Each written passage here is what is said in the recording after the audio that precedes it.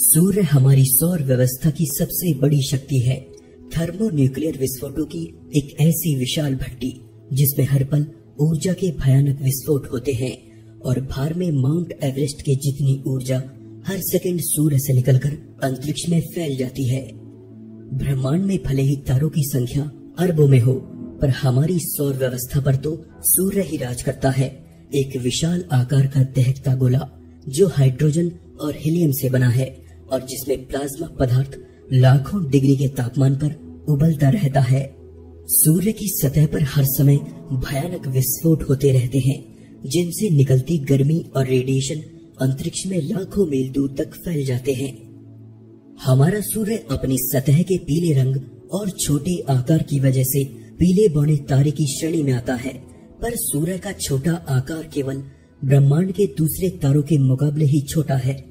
लेकिन हमारी सौर व्यवस्था में इससे ऊपर कोई नहीं है। हमारे सौर मंडल का निन्यानवे प्रतिशत से ज़्यादा पदार्थ केवल सूर्य में मौजूद है और बाकी बचे एक प्रतिशत से भी कम में बाकी का सौर मंडल बना है। सूर्य इतना विशाल है कि इसमें लाखों पृथ्वी समा सकती हैं। सूर्य हमारी सौर व्यवस्था का एकमात्र सबसे बड़ा तारा है, जो कई ग्रहों, चंद्रमाओं, छोटे बड़े पिंडों और उल्काओं से घिरा है। ये ऊष्मा और ऊर्जा दोनों का ही विशाल भंडार है, जिसकी सतह का तापमान ही साढ़े पाँच हज़ार डिग्री सेल्सियस है और जो अड़तीस हज़ार करोड़ अरब मेगावाट ऊर्जा पैदा करता है। ये कितना ज़्यादा है, इसका अंदाज़ा इस बात से लगाया जा सकता है कि धरती का सबसे बड़ा पावर स्टेशन केवल बाईस हज़ार पाँच सौ मेगावाट ऊर्जा ही पैदा करता है। सूर्य केवल एक सेकंड में ही इतनी ऊर्जा चलाता है। जितने समूचे मानव इतिहास में मिलकर आज तक नहीं हुई और इस तरह से सूर्य को चलते हुए अरबों साल गुजर चुके हैं। एक सदी पूर्व तक माना जाता था कि सूर्य भी धरती पर जलने वाले किसी सामान्य से ईंधन की ढेर की तरह जल रहा है, जिसमें वैज्ञानिक हमेशा इस दुविधा में रहते थे कि अगर सूर्य सामान्य ईंधन की ढेर की तरह जल रहा है तो वह अब तक खत्म क्यों नहीं हुआ? सूर्य के द्रव्यमान को देखा जाए तो वह अब तक जलकर खत्म हो जाना चाहिए था। लेकिन सूर्य को इसी तरह से जलते हुए कई अरब साल बीत चुके हैं। अगर हमें सूर्य जितने बड़े पिंड को इतने समय तक जला कर रखना हो तो हमें कई सौ खरब पेड़ों की लकड़ियों को प्रयोग में लाना होगा। तो हमारे सूर्य के खत्म न होने वाले ईंधन के पीछे आखिर क्या राज है? सन 1920 में सूर्य के इस रहस्य से भी पर्दा उठ गया।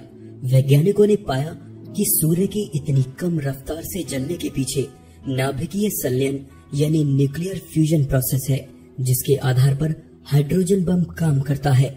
सूर्य के अंदर हाइड्रोजन के कण केंद्र के बहुत ज़्यादा दबाव की वजह से आपस में टकराकर हीलियम के नए कणों को जन्म देते हैं।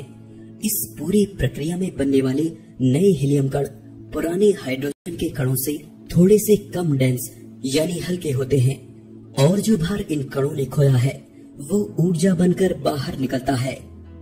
इस तरह से हर सेकंड सूर्य के अंदर 60 करोड़ मीट्रिक टन हाइड्रोजन साढ़े उनसठ करोड़ मीट्रिक टन हीलियम में बदलती है, और बाकी बची 50 लाख टन हाइड्रोजन इस प्रोसेस के दौरान ऊर्जा में बदल जाती है, जो कि एक अरब मेगाटन हाइड्रोजन बम के बराबर है। सूर्य इतनी ऊर्जा केवल एक सेकंड में जला देता है।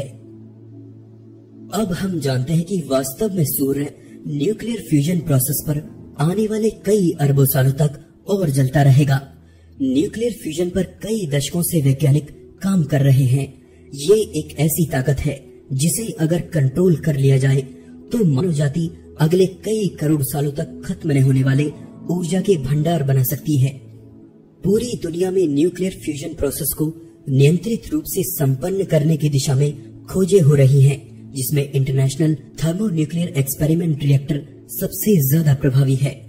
यूरोप चीन जापान रूस अमेरिका और भारत इस सामूहिक खोज के सदस्य हैं। न्यूक्लियर फ्यूजन को हम कब कंट्रोल कर पाएँगे ये तो पता नहीं पर सूर्य से आती धूप भी हम मानवों के लिए ऊर्जा का एक कभी खत्म न होने वाला स्रोत है। धूप जिसके बिना धरती पर जीवन की कल्पना करना तक असंभव है, जो कई करोड़ सालों से धरती को जीवन देती आई है। ये हमारे लिए एकदम मुफ़्त में उपलब्ध ऊर्जा का सबसे बड़ा स्रोत है। लेकिन क्या आपने कभी सोचा है कि हमें जीवन देने वाली ये धूप आखिर हम तक कैसे पहुँचती है? सूर्य की रोशनी के धरती तक आने के पीछे एक बेहद दिलचस्प कहानी छिपी है। सूर्य की कोर यानी केंद्र में हो रहे न्यूक्लियर फ्यूजन में बन रही ऊर्जा ऊष्मा और रोशनी के कणों के रूप में बाहर निकलती है, जिन्हें हम फोटोन्स भी कहते हैं। इन फोटोन्स को धरती पर आने के लिए एक बेहद लंबा सफ़र तय करना होता है, जिसमें इन्हें एक लाख सत्तर हज़ार साल लगते हैं। सूर्य इतना विशाल है कि उसके केंद्र में बन रही ऊर्जा को उसकी सतह तक आने में ही लाखों साल लग जाते हैं। यानी जो धूप अभी हम ले रहे हैं, उसके बनने की शुरुआत आज से एक लाख सत्तर हज़ार साल पहले हुई थी। दोस्तों, आज के इस एपिसोड में बस इतना ही। वीडियो अच्छा लगा तो प्लीज़ लाइक कीजिए और चैनल को सब्सक्राइब ज़रूर कीजिए ताकि आने वाले वीडियोस आप लोग मिस ना करें। मैं हूँ आपका दोस्त विशाल, फिर से मिलेंगे एक नए एपिसोड में। तब तक के लिए नमस्कार।